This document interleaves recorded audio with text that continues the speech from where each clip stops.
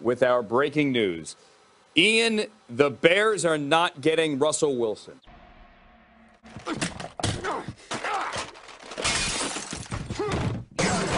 They are getting Andy Dalton. Andy Dalton reunites with Bill Lazor, who of course. No, God!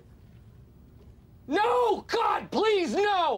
So, you know, as a Bears fan, I was really excited because I seen, you know, articles like these talking about we most likely going to get either Deshaun Watson or Russell Wilson because they prepared to offer them like a big deal, a big package of picks, you know, and players.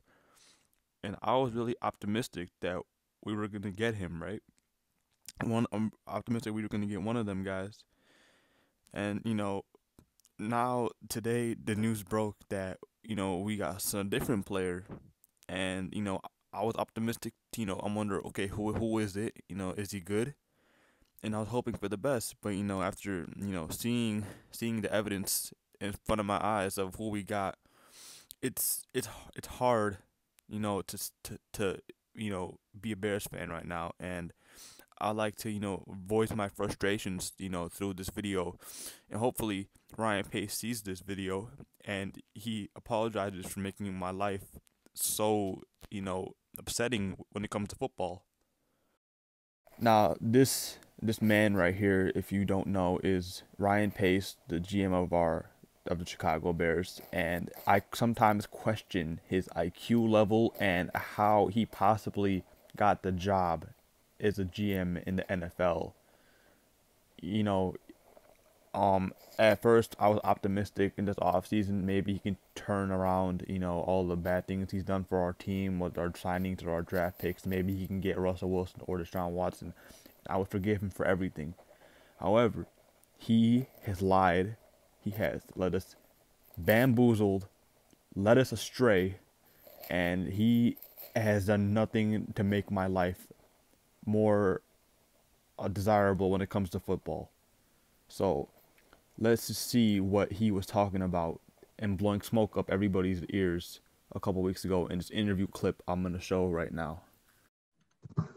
Hi, Ryan. Uh, do you have a plan you feel is going to get you a starting quarterback? Starting quarterback. Starting quarterback.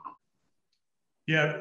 Uh, hey, Brad. Really, right now for us, everything's on the table in regard to the quarterback situation, and and honestly, that includes players on our current roster. That includes free agency, uh, trade, uh, the draft, and, and a combination of all those. So. Uh, we have a we have a plan in place. We have a plan in place. We have a plan in place. And now it's about uh, executing that plan.